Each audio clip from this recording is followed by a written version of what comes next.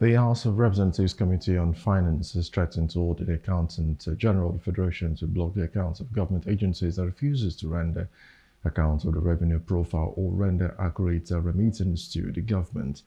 The Deputy Chairman of the committee, Honorable Said Abdullahi, uh, made this known at the uh, resumed revenue monitoring exercise of the committee on Monday while frowning at the refusal of some of the agencies to appear before the committee despite invitation extended to them.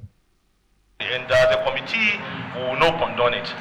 If we uh, sacrifice our Monday, which ordinarily is not supposed to be our plenary day, if we sacrifice our Monday to turn up for this all-important exercise, I see no reason why any agency would decide not to not to appear before this committee.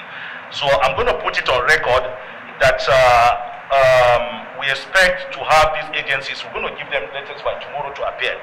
Lagos International Trade Fair Complex, uh, National Broadcasting Commission, National Exam Examination Council, and National Inland Waterways Authority. I'm going to repeat. We expect them to cause appearance by tomorrow. Lagos International Trade Fair Complex, National Broadcasting Commission, National Examination Council, and National Inland Waterways Authority. If by tomorrow these agencies fail to appear before this committee by 12 o'clock tomorrow, committee will resort to take appropriate actions. In fact, we can even take the decision of uh, authorizing Office of the Accountant General to block their accounts. We're doing 50% now, we can block their accounts 100% because we will not take it lightly with any agency.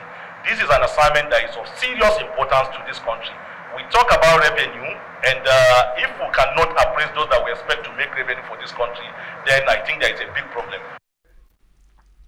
However, out of the eight agencies that were invited to appear before the committee on Monday, only two Financial Reporting Council of Nigeria and National Health Insurance Authority honored the committee. Hello, hope you enjoyed the news. Please do subscribe to our YouTube channel and don't forget to hit the notification button so you get notified about fresh news updates.